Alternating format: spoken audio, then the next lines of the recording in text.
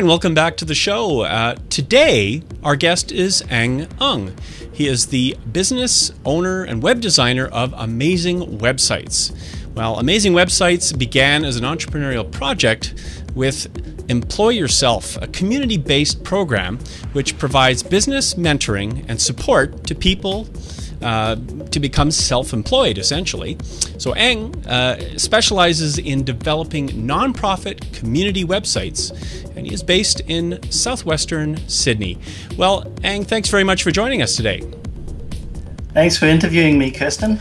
So, uh, today, I guess we'll be talking about how to build an effective nonprofit website. Uh, so, uh, first of all, why nonprofits?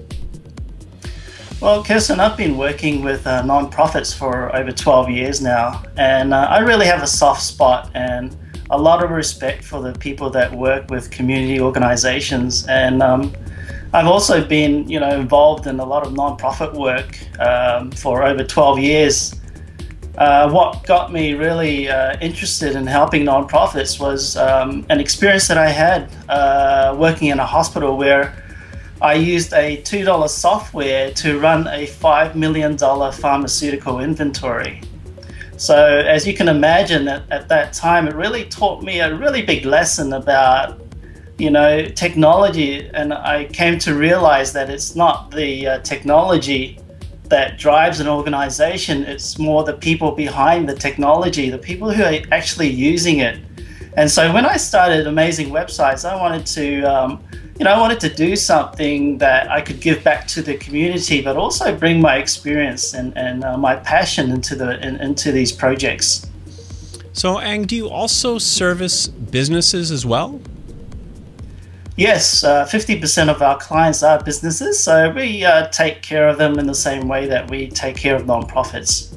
And, and what are some common pitfalls uh, that nonprofits face when they uh, want to build their own websites?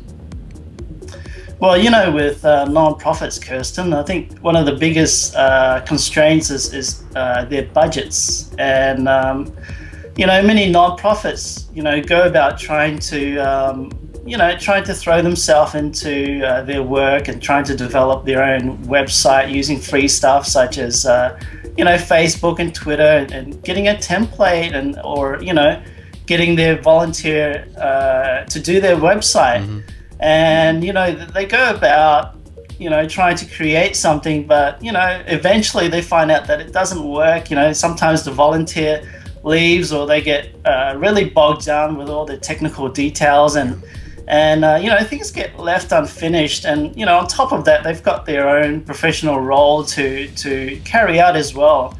And so you know they generally they they they fall into the pitfall of you know trying to get something for free but you know, they end up wasting a lot of time and resources. Well, and it's true. It's the old adage: free isn't always free because you're dealing with time, and uh, when time is wasted, that's costs money, of course. Uh, so, tell me, how do you avoid some of these pitfalls? Well, you know, for us, it's about the one-on-one relationships. You know, we try to get time with our clients, and we try to build something that uh, that will adapt to their uh, organization, that will adapt to the way that they work. And, um, you know, most of our packages come up with up to uh, 12 months of ongoing technical support. You know, we provide uh, training and, and, feedback to our clients to make sure that, you know, they, they know what they're uh, up against. Hmm. And of course, websites come in many different flavors, from HTML websites to blogs to you know full-fledged CMSs or what they call content management systems. From what you explained before the program, well, what systems do you recommend?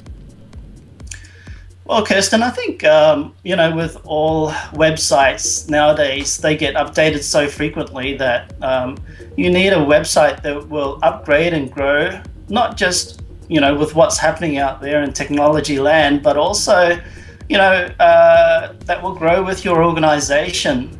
And I think it's, it's important to have something that will up, uh, sorry, that will integrate with social media. You know, something that you can view on your uh, phone or your tablet, and and something that you can expand. You know, like add a credit card processing facility or or uh, turn it into an online shop. You might not think that you need these things now, but you know, down the line, you will need a system that will eventually adapt to how you work. And you know, for us, we we use a, a very powerful software called uh, Joomla. It's it's the framework of what we use to build our websites on. And Joomla is, is quite popular around the world. It runs uh, such websites as eBay and, and Vodafone. And here in Australia, uh, you know, the Victorian police and government also use it uh, to run their own websites. Well, it's it's quite amazing, and you know we do have a B-roll here. I'd like to play uh, for the for the benefit of our audience, if uh, if you don't mind. We'll uh, we'll just cut to this B-roll, and, and you can you can all see uh, exactly how this how this great operating system works. Uh, let's watch. There are two ways to edit the content of your web pages. The first way is to log into the backend of your website. This gives you more control and allows you to fully change the look and the feel of your website. The second way is to edit the website through the front end. You simply go to the web page that you want to edit. In our case, we want to edit the About Us page. Enter your login details.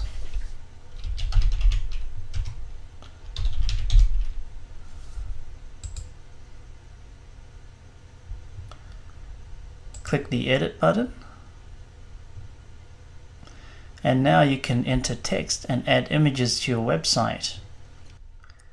And now I will demonstrate the back end of the website. As you can see, the layout of the editor is similar to the layout of Microsoft Word. so anyone who uses Word on a regular basis will find it quite easy to edit content on their website.